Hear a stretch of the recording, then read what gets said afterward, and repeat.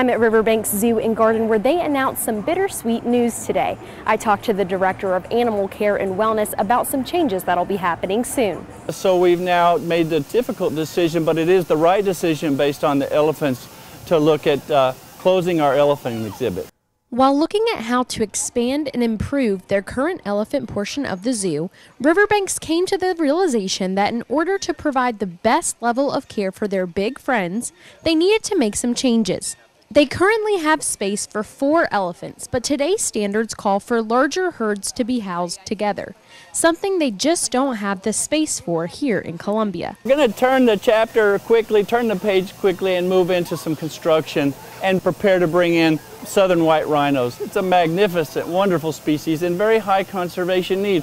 And uh, Riverbanks will be able to participate at a very high level because we'll be bringing in a breeding group you know, white rhinos, they, they are amazing species and, and certainly one in high need for our support. And so while we'll be sorry to see the elephants go, they've been around a long time, but we'll still monitor those populations and see how it goes. And if there's ever a time when riverbanks can, can get back into elephants, we certainly will when animals are, become available. We will keep you updated on Robin and Belle's move and everything else going on here at the Riverbanks Zoo and Garden. In Columbia, I'm Emily Carell, News 19 WLTX.